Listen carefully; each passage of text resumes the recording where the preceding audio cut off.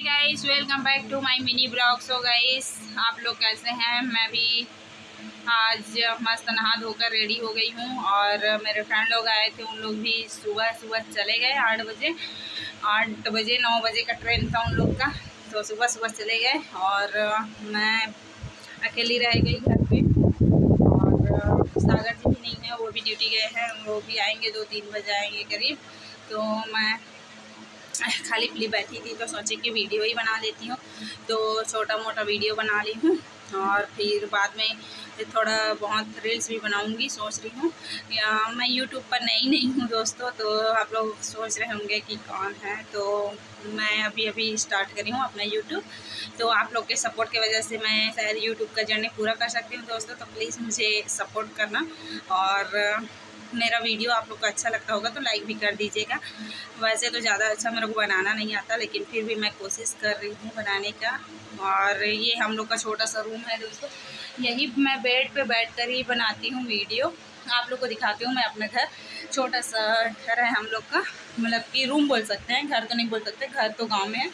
ये है। और ये पेंटिंग जो है ना, मैं खुद ही बनाई हूँ। ऐसे ही मेरे को पेंटिंग करने का बहुत शौक़ है तो थोड़ा मोड़ा पेंटिंग कर लेती हूँ।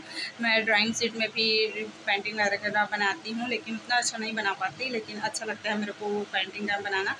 और ये इसको मैं बनाई हूँ। तो दिखाती हूँ दोस्तों आप लोग को। हम लोग का रूम आई मीन रूम ये हॉल है। हॉल है दोस्तों और इधर से एक और रूम जाता है। ये एक और रूम है। यहाँ पे कोई मेहमान वगैरह आ जाते हैं, मम्मी लोग आ जाते हैं, या तो फिर कोई भी फ्रेंड वगैरह आते हैं तो यहीं रुकते हैं। और हम लोग का किचन दिखाती हूँ आप लोग को। छोटा सा हम लोग का किचन। हम लोग का किचन है। वैसे तो मैंने खाना वाना बनाकर पूरे तैयार कर लिया है। और आज मेरी जो फ्रेंड लोग आए थे, उन लोग चले गए। वही पूरा घर का सफ़ाई करी। मैं तो सोई थी दस बजे करीब उठी। तो बाहर का व्यू दिखाती हूँ दोस्तों आप लोग को।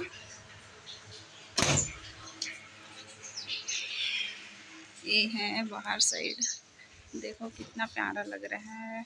वाह लेकिन बहुत गर्मी है भाई।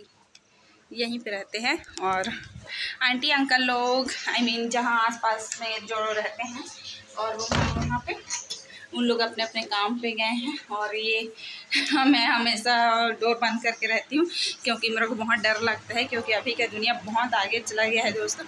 इस वजह से मैं, मेरे को डर लगता है। और ये तो मैं स्टिकर लगाई थी। मेरे को ऐसे रूम को डेकोरेट करके रखना अच्छा लगता है लेकिन सामान ज़्यादा होने की वजह से मैं नहीं कर पाती। और दोस्तों तो मैं अभी रील्स बनाऊँगी और रील्स बनाऊँगी। रील्स बनाने के लिए ही तैयार हुई हूँ और तो सोची कि ब्लॉग बना लेती हूँ, ब्लॉग बना रही हूँ।